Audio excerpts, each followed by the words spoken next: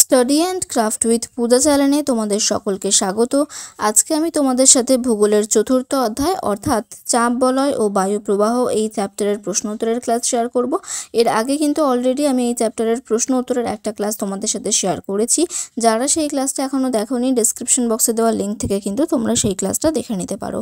আর ক্লাসটা শুরু করার আগে আরেকটা কথা বলব, তোমরা যদি এই ক্লাসটা শেষ অবধি দেখো, তাহলে কিন্তু তোমরা জানতে পারবে এই পুরো ক্লাসের নোটসের পিডিএফটা তোমরা কীভাবে পাবে।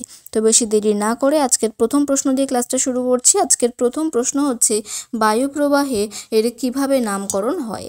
বায়ু যেদিক থেকে প্রবাহিত হয়, সেই দিক অনুযায়ী বায়ুর নামকরণ হয়। পরের প্রশ্ন, চিনুক শব্দের অর্থ কি? চিনুক কোথায় দেখা যায়? চিনুক শব্দের অর্থ তুষার ভক্ষক, উত্তর আমেরিকার রকি পার্বত্য অঞ্চলে চিনুক দেখা যায়। নেক্সট হচ্ছে আইটিসিজেড এর অন্য নাম কি? আইটিসিজেড এর অন্য নাম নিরক্ষীয় শান্ত বলয় পরের প্রশ্ন, বাইশ ব্যালটের সূত্রটি কি? আঠেরোশো সাতান্ন সালে ডাচ আবহবিদ বাইশ ব্যালট বায়ুর চাপের পার্থক্য ও বায়ু প্রবাহের মধ্যে সম্পর্ক নির্ণয় করতে গিয়ে এই সূত্র আবিষ্কার করেন। উত্তর গোলার্ধে বায়ু যেদিকে প্রবাহিত হয়, বাইশ ব্যালটের সূত্রানুসারে সেই দিকে পিছন ফিরে দাঁড়ালে ডান দিকে বায়ুর উচ্চচাপ ও বাঁ দিকে নিম্নচাপ হয়। দক্ষিণ গোলার্ধে ঠিক এর বিপরীত অবস্থা লক্ষ্য করা যায়। পরের প্রশ্ন হচ্ছে, আয়ন বায়ুর অপর নাম কি? আয়ন বায়ুর অপর নাম হচ্ছে বাণিজ্য বায়ু। পরের প্রশ্ন, হারমাট্রান বায়ু কেমন? হারমাট্রান বায়ু কোথায় দেখা যায়? হারমাট্রান বায়ু শুষ্ক ও উষ্ণ। হারমাট্রান বায়ু উত্তর পশ্চিম আফ্রিকার পূর্ব দিক থেকে গিনি উপকূলের ওপর দিয়ে প্রবাহিত হয়। নেক্সট হচ্ছে, তীক্ষ্ণ চিৎকারকারী ষাট কি? ষাট ডিগ্রি দক্ষিণ অক্ষরেখা বরাবর তীক্ষ্ণ শব্দে প্রবাহিত পশ্চিমা বায়ুকে তীক্ষ্ণ চিৎকারকারী ষাট বলা হয়। পরের প্রশ্ন, গ্রীষ্মকালীন মৌসুমি বায়ু কাকে বলে? গ্রীষ্মকালীন জলীয় বাষ্প পূর্ণ বায়ু সমুদ্র থেকে স্থলভাগের দিকে প্রবাহিত হলে তাকে গ্রীষ্মকালীন মৌসুমি বায়ু বলে। এত অবধি যারা ক্লাসটা দেখলে, তোমাদের যদি ক্লাসটা ভালো লাগে, তাহলে কিন্তু ক্লাসটাকে অবশ্যই একটা লাইক করে দাও।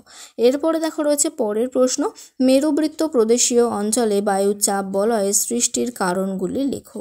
উত্তর, দুটি গোলার্ধে ষাট ডিগ্রি থেকে সত্তর ডিগ্রি অক্ষরেখার মধ্যবর্তী অঞ্চল, অর্থাৎ সুমেরু ও কুমেরু বরাবর দুটি চাপ বলয় অবস্থান করে এই, অবস্থান করে এই চাপ বলয় সৃষ্টির কারণগুলি হল দুই গোলার্ধের মেরু অঞ্চলের তুলনায় পার্শ্ববর্তী মেরুবৃত্ত প্রদেশীয় অঞ্চলের উষ্ণতা বেশি হয়, ওই অঞ্চলের বায়ু হালকা হয়ে ওপরে ওঠে ও প্রসারিত হয়। দুই নম্বর হচ্ছে, এই ঊর্ধ্বগামী বায়ু পৃথিবীর আবর্তনের জন্য উত্তর ও দক্ষিণ দিকে বিক্ষিপ্ত হয়ে দুই গোলার্ধের ক্রান্তীয় ও মেরু অঞ্চলের দিকে নেমে আসে। ফলে দুই মেরুবৃত্ত প্রদেশীয় অঞ্চলে বায়ুর পরিমাণ কমে ও ঘনত্ব হ্রাস পায়। পরের প্রশ্ন, নিয়ত বায়ু কাকে বলে? সারা বছর ধরে ভূপৃষ্ঠের সমান্তরালে একই দিকে একই গতিবেগে প্রবাহিত বায়ু হলো নিয়ত বায়ু। এর পরের প্রশ্ন কাকে সমুদ্র কাকে সমুদ্র বায়ু ও স্থলবায়ুর বৃহৎ সংস্করণ বলা হয়? মৌসুমী বায়ুকে কিন্তু সমুদ্র বায়ু ও স্থলবায়ুর বৃহৎ সংস্করণ বলা হয়। পরের প্রশ্ন, গর্জনশীল চল্লিশা কি? চল্লিশ ডিগ্রি দক্ষিণ অক্ষরেখা বরাবর পশ্চিম থেকে পূর্বে সশব্দে প্রবাহিত পশ্চিমা বায়ু গর্জনশীল চল্লিশা নামে পরিচিত। নেক্সট, আয়ন বায়ুর প্রভাবে কীভাবে মহাদেশের পশ্চিমাংশে মরুভূমির সৃষ্টি হয়েছে? ক্রান্তীয় অঞ্চলের কম উষ্ণ স্থান থেকে তুলনায় বেশি উষ্ণ নিরক্ষীয় অঞ্চলের দিকে আয়ন বায়ু প্রবাহিত হওয়ায় এর উষ্ণতা বেড়ে যায়। এই উষ্ণ আয়ন বায়ু পূর্ব থেকে পশ্চিমে মহাসাগরের ওপর দিয়ে প্রবাহিত হওয়ার সময় জলীয় বাষ্প ধারণ করে। এই জলীয় বাষ্পপূর্ণ বায়ু মহাদেশের পূর্ব উপকূলে প্রচুর বৃষ্টিপাত ঘটায়। কিন্তু পশ্চিমাংশে বৃষ্টিপাতের পরিমাণ ক্রমশ কমতে শুরু করে। ফলে মহাদেশের পশ্চিমাংশে অধিকাংশ উষ্ণ মরুভূমির সৃষ্টি হয়েছে, যেমন আফ্রিকার সাহারা, কালাহারি, ভারতের থর। পরের প্রশ্ন, শীতকালীন মৌসুমি বায়ু কাকে বলে? শীতকালে স্থলভাগ থেকে শুষ্ক, ঠান্ডা বাতাস সমুদ্রের দিকে প্রবাহিত হয়, একে শীতকালীন মৌসুমি বায়ু বলে। আমি কিন্তু তোমাদের সাথে তোমাদের সেকেন্ড ইউনিট টেস্টের নমুনা প্রশ্নপত্র বা সাজেশন ক্লাস অলরেডি শেয়ার করেছি। যারা সেই ক্লাসগুলো দেখোনি, তোমরা কিন্তু পরীক্ষার আগে সেই ক্লাসগুলো দেখে নিতে পারো। ডিসক্রিপশন বক্সে কিন্তু আমি তারও লিঙ্ক দিয়ে দেব। এরপরে দেখো, পরের প্রশ্ন সিরক্ষ কেমন বায়ু? সিরক্ষর প্রভাবে আফ্রিকার উপকূল কেমন হয়? সিরক্ষ শুষ্ক, উষ্ণ ও ধূলিপূর্ণ বায়ু। সিরক্ষর প্রভাবে আফ্রিকার উত্তর উপকূল শুষ্ক ও ধূলিপূর্ণ হয়। নেক্সট ক্যাটাবেটিক বায়ু কাকে বলে? রাত্রিবেলা দ্রুত তাপ বিকিরণের ফলে উপত্যকার দুপাশের উপরিস্থিত বায়ু ঠান্ডা হয়ে পড়ে। ফলে পর্বতের ঢাল বরাবর এই উচ্চচাপের ভারী বায়ু নিচের দিকে নামতে থাকে ও উপত্যকায় অবস্থান করে। একে পার্বত্য বায়ু বা ক্যাটাবেটিক বায়ু বলে। নেক্সট প্রশ্ন আইটি সিজেড কি? উত্তর, পূর্ব ও দক্ষিণ পূর্ব আয়ন বায়ু নিরক্ষীয় অঞ্চলে মিলিত হয়, একে আইটি সিজেড বলে। নেক্সট হচ্ছে সূর্যের আপাত বার্ষিক গতির কারণে নিরক্ষীয় ও ক্রান্তীয় অঞ্চলে কি হয়?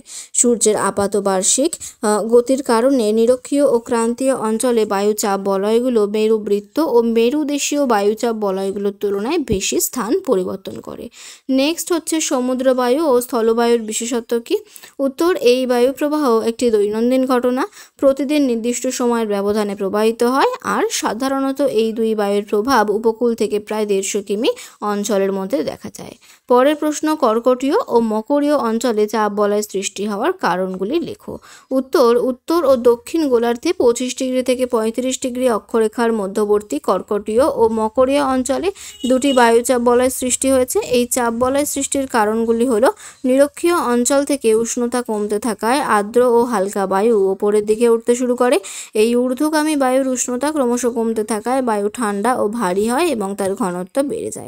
দুই নম্বর হচ্ছে, এই শীতল ও ভারী বায়ু কর্কটীয় ও মকরীয় অঞ্চলে নেমে আসে। আবার মেরু অঞ্চল থেকে ঠান্ডা ও শুষ্ক বায়ু নিচের দিকে নেমে এসে দুই ক্রান্তীয় অঞ্চলে অবস্থান করে। তিন নম্বর পয়েন্ট হচ্ছে দুটি বিপরীতধর্মী বাতাস দুই ক্রান্তীয় অঞ্চলে মিলিত হবার ফলে এখানে বায়ুর পরিমাণ বাড়ে এবং ঘনত্বও বেড়ে যায়। নেক্সট, বায়ুর গতিবেগ কোন যন্ত্রের মাধ্যমে পরিমাপ করা যায়? বায়ুর গতিবেগ অ্যানিমোমিটার যন্ত্রের মাধ্যমে পরিমাপ করা যায়। এবং পরের প্রশ্ন হচ্ছে, ফোন কোথায় প্রবাহিত হয়? ফন আলপস পার্বত্য অঞ্চলের উত্তর ঢাল বেয়ে নিচে নেমে মধ্য ইউরোপে প্রবাহিত হয়। আজকের ক্লাসে আমি তোমাদের সাথে এই কতগুলো প্রশ্নই শেয়ার করলাম। নেক্সট ক্লাসে এই চ্যাপ্টারের আর কিছু প্রশ্ন আছে, সেগুলো শেয়ার করব। তাহলেই কিন্তু এই চ্যাপ্টারের মোট তিনটে ক্লাস আমি তোমাদের সাথে শেয়ার করব এবং আশা করব এই প্রশ্নগুলো পরীক্ষার আগে তোমরা যদি দেখে যাও, তোমরা পরীক্ষায় ডেফিনেটলি কমন পাবে। আজকের ক্লাসটা যদি তোমাদের ভালো লাগে আর এই পুরো ক্লাসের পিডিএফটা যদি তোমরা পেতে চাও, তাহলে কিন্তু ক্লাসটাকে অবশ্যই একটা লাইক করো কমেন্ট করো, বন্ধুদের সাথে ক্লাসটা বেশি করে শেয়ার করে দাও।